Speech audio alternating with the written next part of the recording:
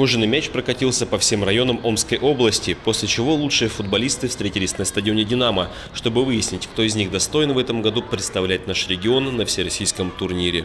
Это всероссийские соревнования, они имеют давнюю традицию, еще идут со времен Советского Союза, поэтому имеют э, такие устойчивые традиции и очень популярные в стране. Мы проводим это в три этапа.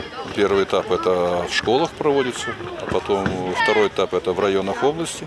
Всего три зоны, но команд, ну, порядка 40 команд участвует. Два дня сильнейшие команды в трех возрастных группах и в жару, и в дождь отстаивали свое право на победу. Ведь каждый мальчишка, пришедший в футбол, мечтает добиться успеха. А поездка на именитый всероссийский турнир «Кожаный мяч» – это весьма внушительный шаг к нему. Среди самых старших спортсменов заветную путевку получили воспитанники общеобразовательной школы номер 55. Вместе с ними победу праздновали и их товарищи в младшей возрастной группе.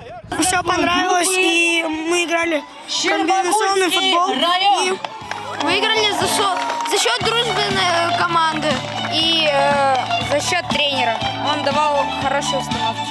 Поедете на всероссийский турнир, как бы чего ожидаете, как будете а, готовиться? упорные борьбы, наверное, ожидаем.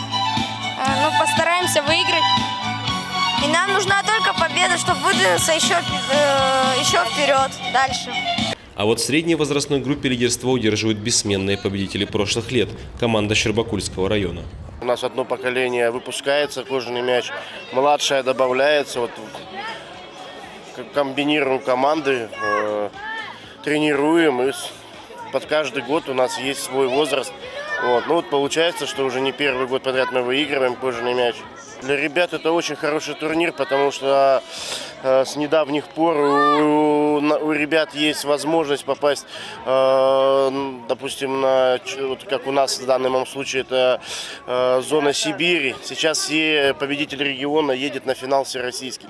А это возможность каждого из ребят э, показать себя и где-то, может быть, э, замеченным каким-нибудь профессиональным футбольным клубом, пойти по карьерной футбольной э, лесенке вперед и заиграть, может, в каком-то клубе. Конечно, это здорово. У нас упорные тренировки, тренер нас каждый раз поддерживает, у нас получается результат. Подсказывать нам ошибки наши, мы их понимаем. награды и, второй. У нас как-то появилось больше опыта, что, ну, техники больше, да.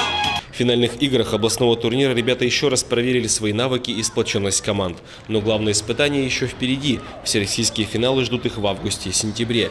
Там за победу будут бороться по 80 коллективов в каждой категории.